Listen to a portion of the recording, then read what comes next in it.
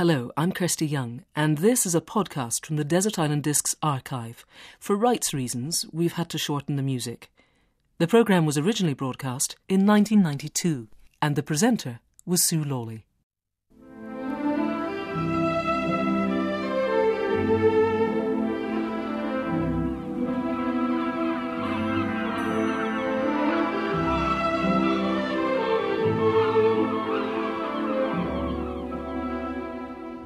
My castaway this week is a politician. His background and childhood are well known. Indeed, his humble origins are part of the reason why, just over a year ago, he was elected leader of his party.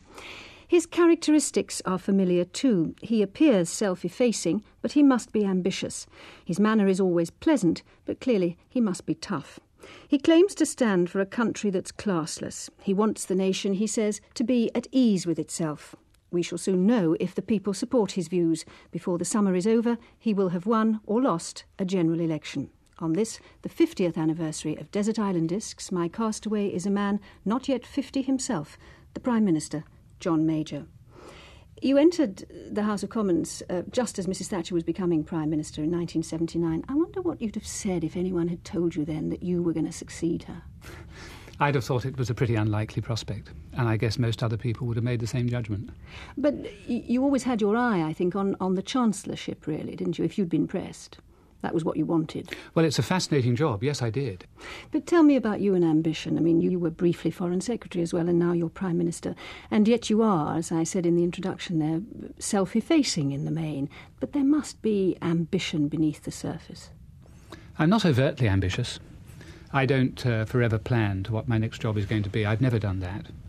Uh, I certainly perhaps have a streak of stubbornness. If people think I can't do something, then I will say, well, perhaps I'd like to do it.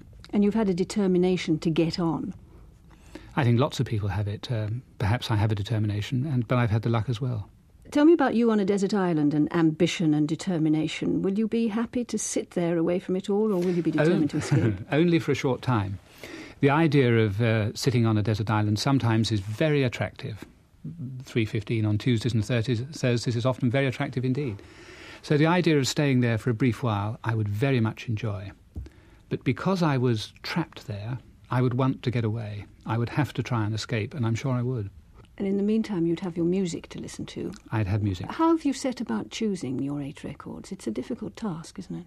Very difficult. Uh, I thought when I first sat down that it wouldn't take very long. I'm very fond of music. I've got quite wide ranging tastes in music. And I thought there'd be no difficulty in picking eight records. But I was wholly wrong. Picking 80 would have been easy. But uh, reducing that 80 to 8 was very difficult. And eventually it was uh, a choice that enabled me to bring in music of all different sorts. And music that, in one respect or another, had a special memory or a special meaning. And what's the first one? The first one is a Gershwin tune, Rhapsody in Blue, played by the New York Phil. And why do you want that? It's a beautiful piece of music, very haunting, lovely clarinet introduction. And I have spent years listening to my daughter graduate from the recorder to the clarinet and playing in the room next door. I'll be able to remember that as well.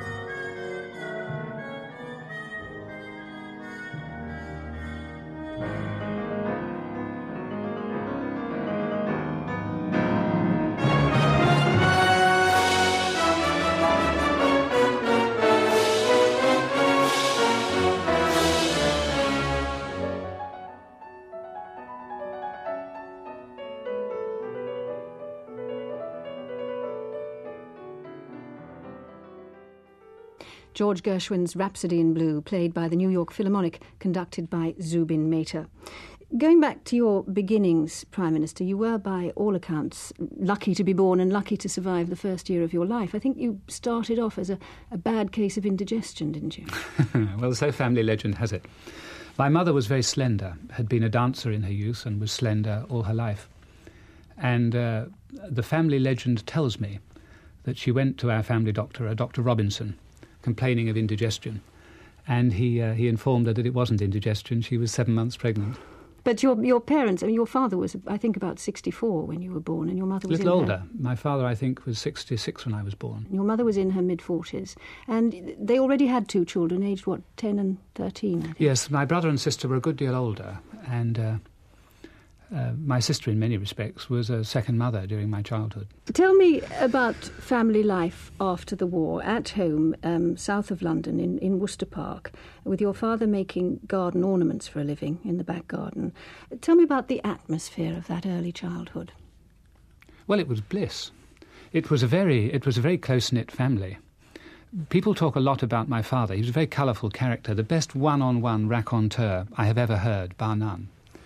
And uh, he was almost immensely entertaining to listen to, and I was entranced as a small boy listening to his many stories, going across the Atlantic in masted sailing boats, all sorts of things that he had done.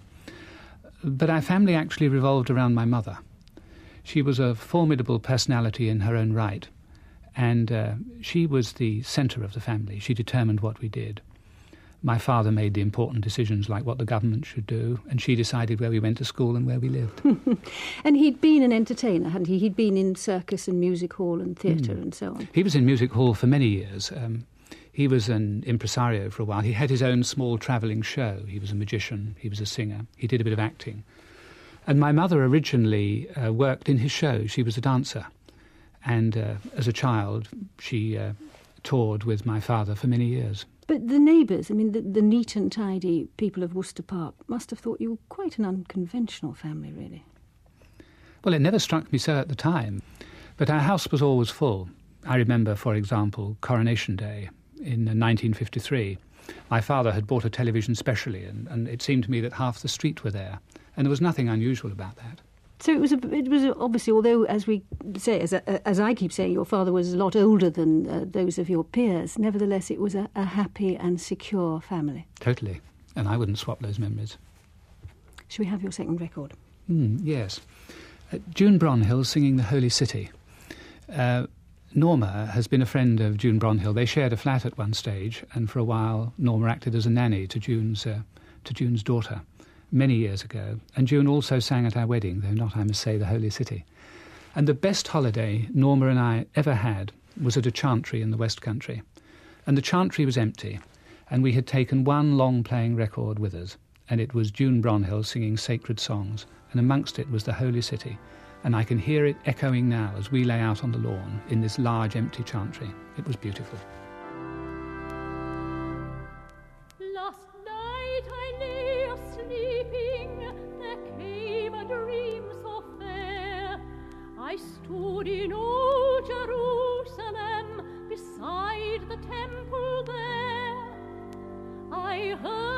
Children singing, and ever as they sang, methought the voice of angels from heaven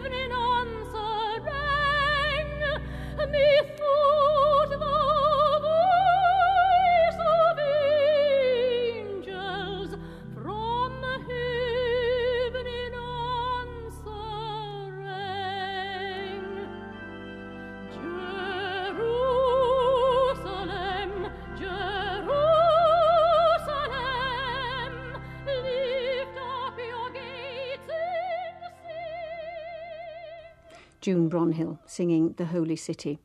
So, up until the age of 12, as far as you knew, life for the Majors of Longfellow Road was a happy and secure affair. But suddenly it all went, went wrong, didn't it? What happened? My father, who was then in his 70s, had entered into some injudicious business venture or another. And being my father, he had never signed contracts, word of mouth, and a handshake was sufficient for him.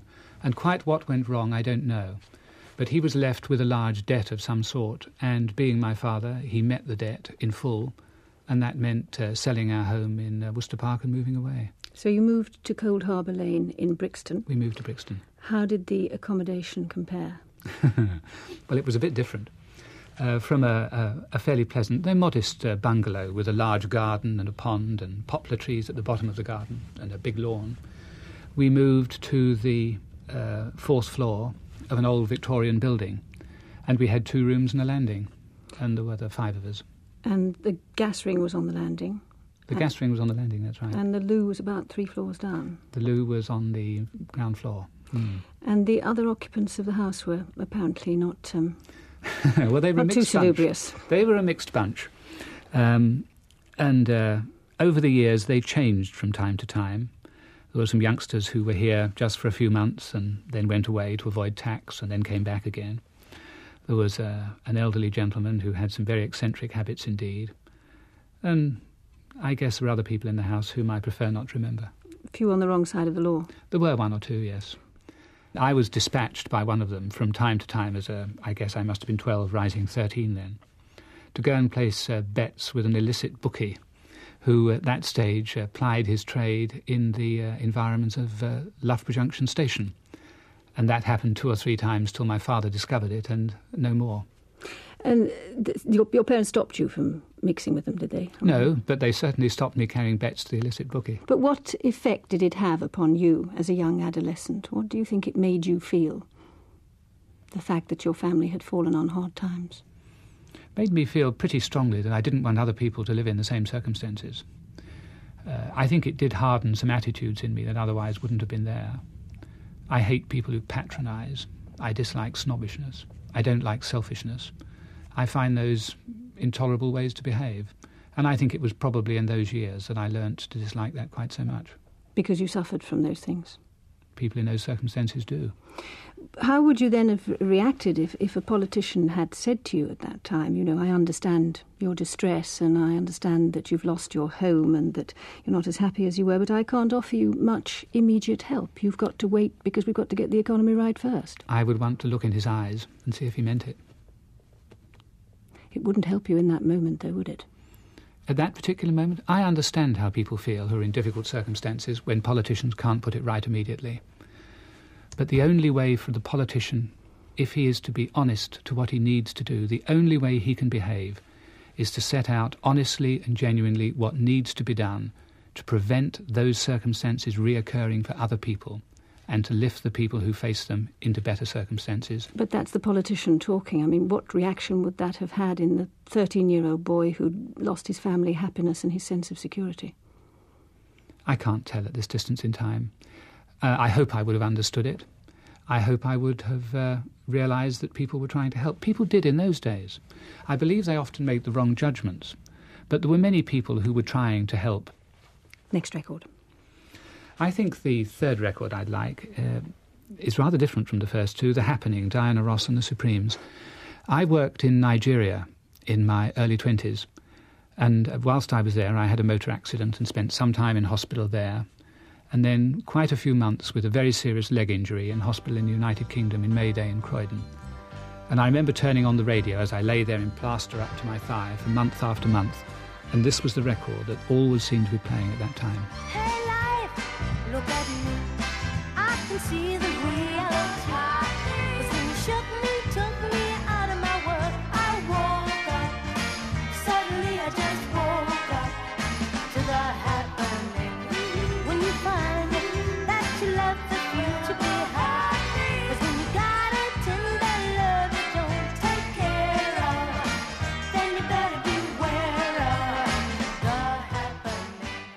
Happening, Diana Ross and the Supremes. So you left school at 16 against your parents' wishes, I think. Was that because you felt guilty, because you felt you ought to be bringing home some bacon by then? I had no particular wish to stay at school, uh, but also I did think that uh, an extra few pound would make a difference. What was your first job? I worked at Price Forbes in uh, just over London Bridge, and uh, I remember going for an interview, and I came home and I, I was offered a salary of two hundred and sixty pound a year, five pound a week. And on the bus going home, I remember thinking to myself, was it two hundred and sixty or one hundred and sixty? And it was a huge worry. This was an, as an insurance clerk. That's right. Do you remember your first day? What did you look like? What did you wear? I wore a charcoal suit that uh, I thought was the right sort of wear. I'm not sure entirely that it was. And I was a bit of a fish out of water, frankly. So you eventually left, and later on, I think you became a, a labourer, didn't you, in your father's Mm. old firm, which had Mm. been bought out by somebody else. But finally, that folded, and you were on the dole. Tell me about that experience. Well, it's a long time ago now. It was in the early 1960s, and I was unemployed for a while. And uh, it isn't pleasant. I think I can understand how other people feel. Though it has to be said, I was unemployed as a young single man. The real problem, I think, is when you're uh, unemployed and you have family responsibilities. Uh, whether as a man or a woman you have family responsibilities and you're older. I think it is much worse then. But I think to some extent I can understand how people feel. You, you said since that it was perhaps the, the lowest and most demoralising period in your life. It is demoralising if uh, if you have nothing to do. It is demoralising. How difficult for you then is it today to preside as you do over increasing unemployment? I think since you've been Prime Minister, another three quarters of a million people have become unemployed. That must be difficult for you to live with in the light of your experiences. You can live with it only for one reason. And that is because you are in a position to put into place the policies that you think will recreate jobs, not temporary jobs, not jobs that will last for a month or two months or six months, but permanent jobs to give people permanent security. Providing you believe you can do that, then I think uh, uh, you, can, uh, you can live with the difficulties. Record number four. The fourth record is uh, a Joan Sutherland record, uh, The Mad Scene from Lucia di Lammermoor. It, uh, the first time Norma and I ever went out together was to a gala for Sir David Webster at Covent Garden in 1970, in the early part of 1970. And I had been up for most of the previous two nights. Uh, I was a Lambeth councillor at the time, and we'd had very late meetings, and I'd had very little sleep. And the gala went on a very long time, and uh, Joan Sutherland came on to sing the mad scene quite late at night. And as she began to sing it, I nodded off. And uh, how our relationship survived that, I'm never sure.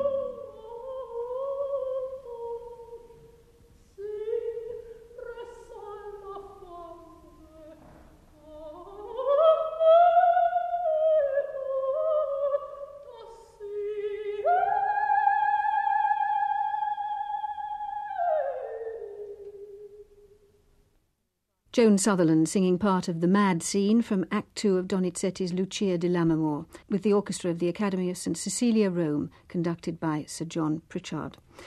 Another adjective one would pause before ascribing to you, Prime Minister, would be impulsive, and yet apparently you proposed to Norma Johnson within three weeks of meeting her. yes, that's right. Uh, many of the things I've done have been impulsive. Uh, the most important um, and worthwhile piece of impulsion was, as you say, Norma. But not only that, uh, the house we live in, it took me two minutes to look at it and decide to buy it. Yet it was infinitely the most expensive purchase I'd ever made. And at the moment I decided to buy it, I wasn't quite sure how I would pay for it. Let's go back to you uh, as a young man. It seems to me that, that, a, that a transformation occurred in your early 20s. Um, you were, as we've heard, a, a young man with a fairly threadbare CV in your late teens, and you had no prospects. But by the age of 26, you were, or 27, you were chairman of uh, Lambeth Housing Committee, you were vice chairman of Brixton Conservatives, you were a governor of a few schools, you were a member of various voluntary organisations, and you had a proper job. You were, had a job in a bank with prospects. Now, that transformation, if you like, from the wrong to the right side of the track was, was quite calculated, wasn't it? Yes, it was. Um, I don't shrink from admitting that. Yes, it was. I wanted to get into Parliament. It was perfectly clear that in many ways I didn't have a classic CV. I hadn't been to university. I didn't have an Oxford double first. Uh, I didn't have many of the classic ingredients that one might look for in a, in a parliamentary candidate.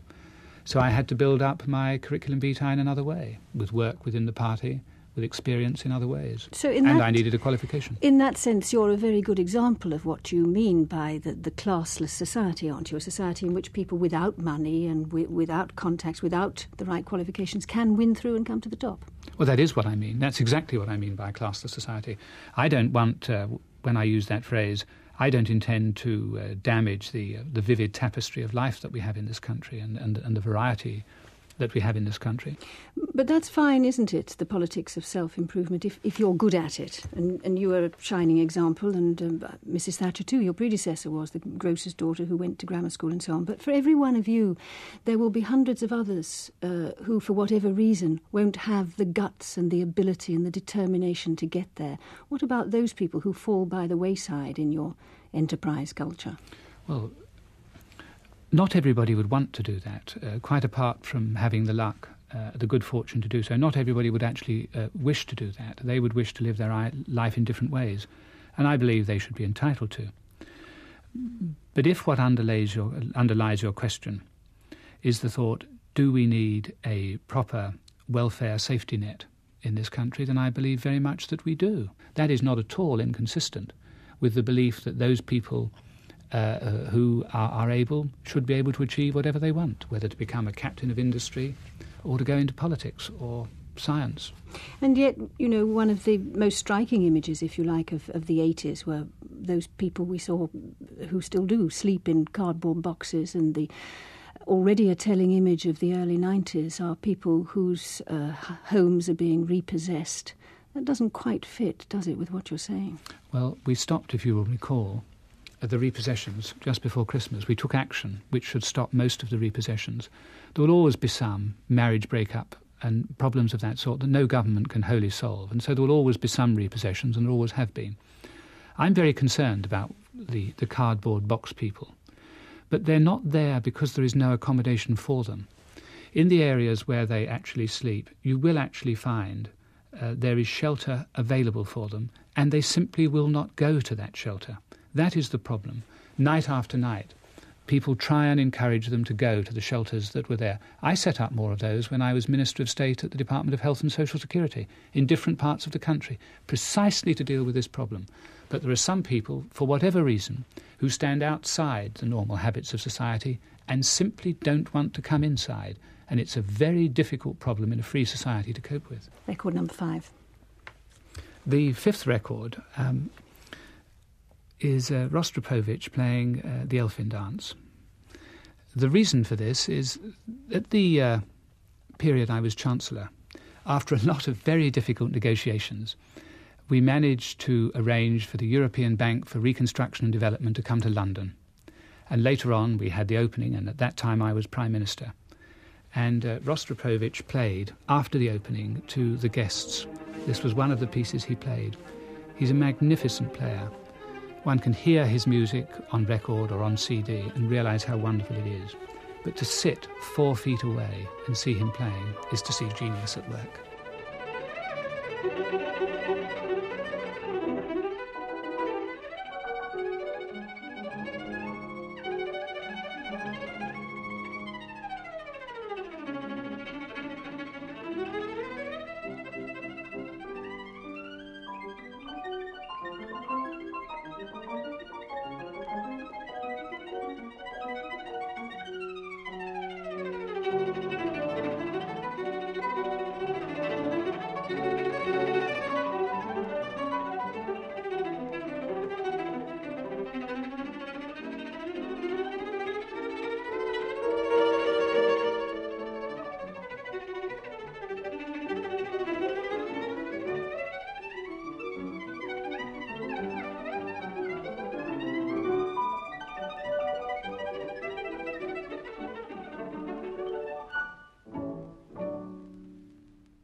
Rostropovich playing part of Popper's Elfin Dance.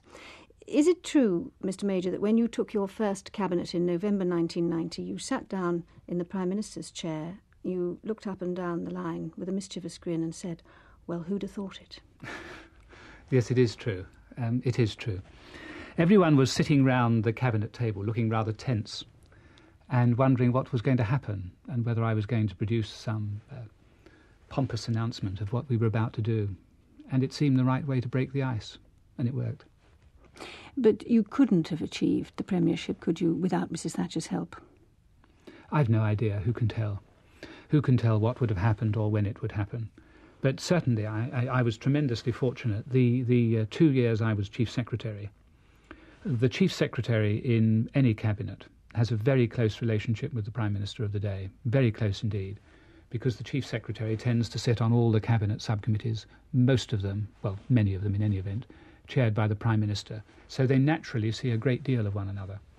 And in the two years I was Chief Secretary, I saw a great deal of Mrs. Thatcher, and we worked very closely together. But to outward view, she did more or less deliver the job to you. She stepped out of the running. Ultimately, you were able to go into the running. Her supporters more or less moved over to you.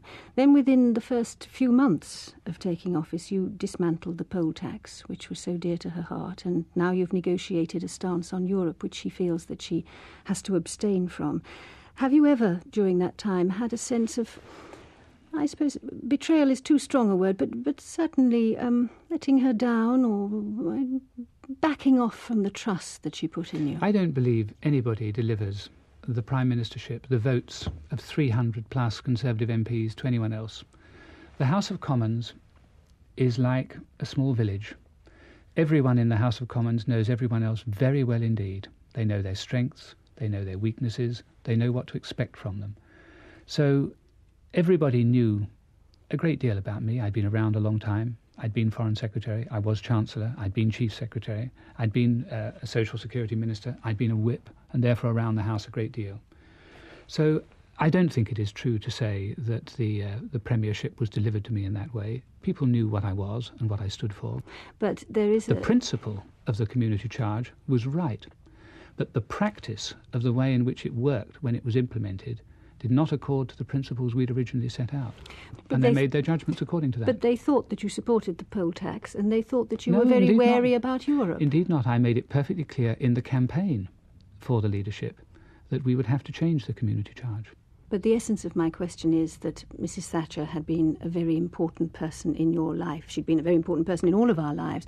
There must have been a moment when you stood in Downing Street taking making these moves which she would not wholly have gone along with and certainly wouldn't have been made if she hadn't been there.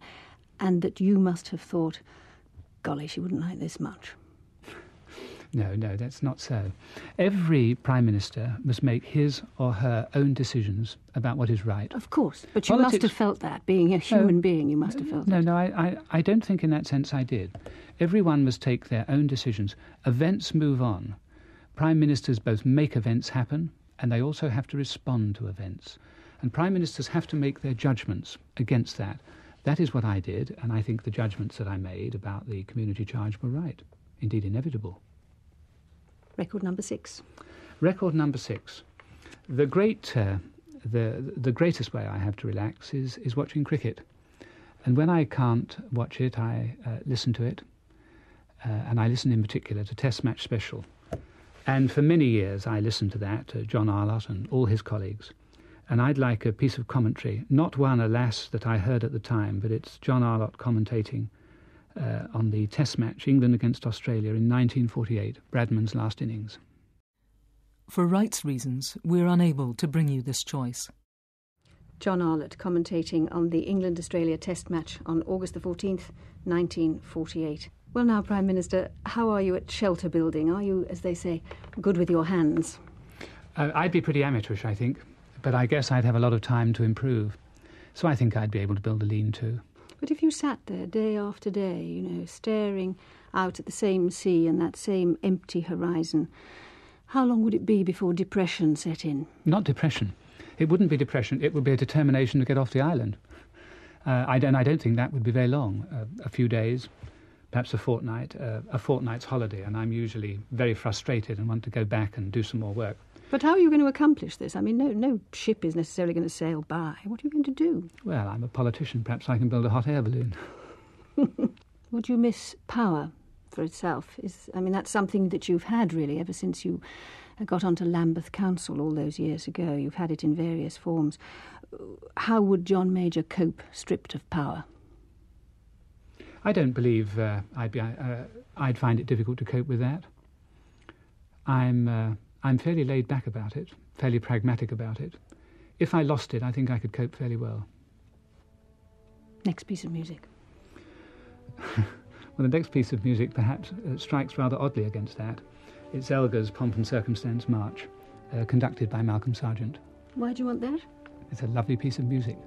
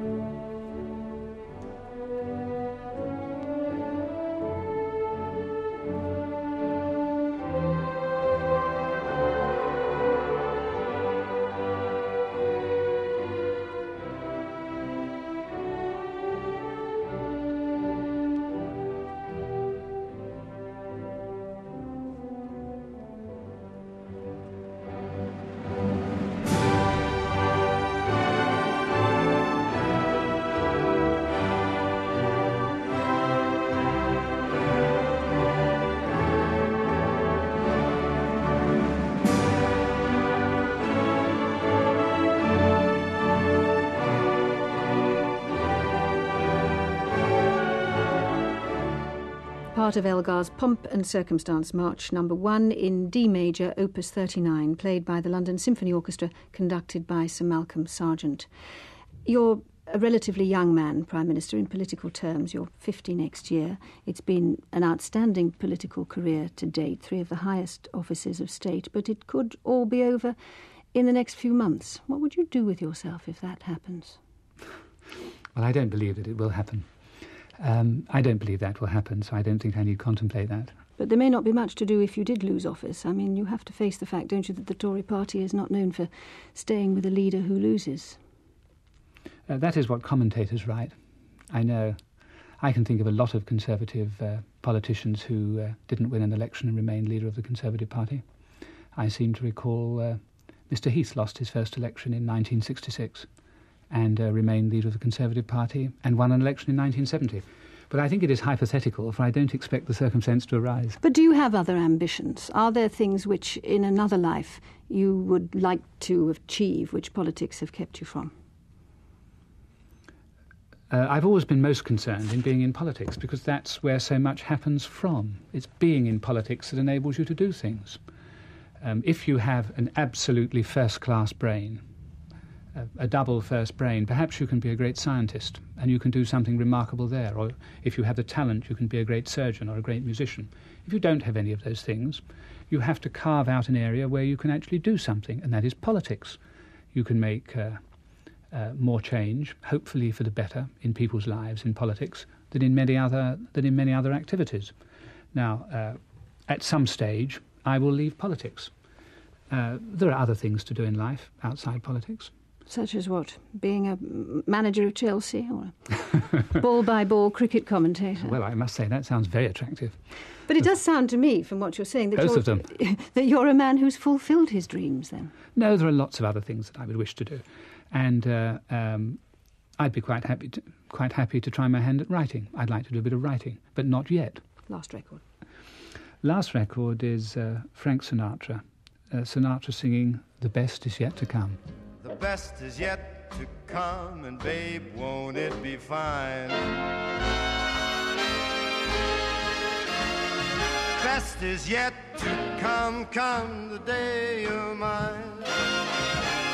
Come the day you're mine. I'm gonna teach you to fly. We've only tasted the wine. Frank Sinatra singing The Best Is Yet to Come. So, Prime Minister, which one of those eight records is more important to you than the rest?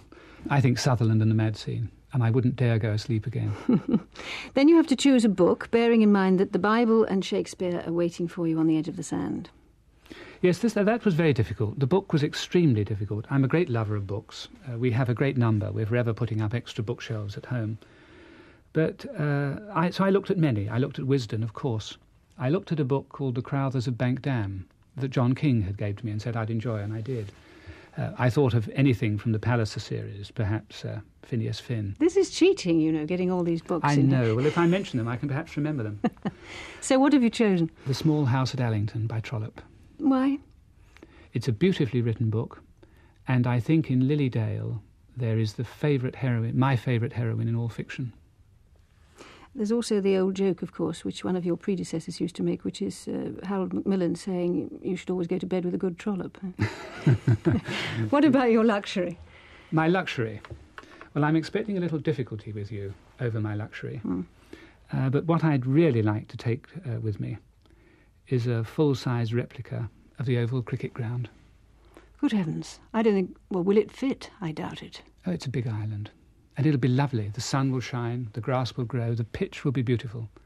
And I will be able to bowl on it or bat on it with the bowling machine that lives in the Ken Barrington Centre to my heart's content. I gather you've been called the Velvet Steamroller. Perhaps that's what you'll do is flatten the pitch every. John Major, I'm not sure whether I can guarantee we can get the Oval to the desert island, but we shall do our best. Thank you very much indeed for letting us hear your desert island discs. Thank you very much.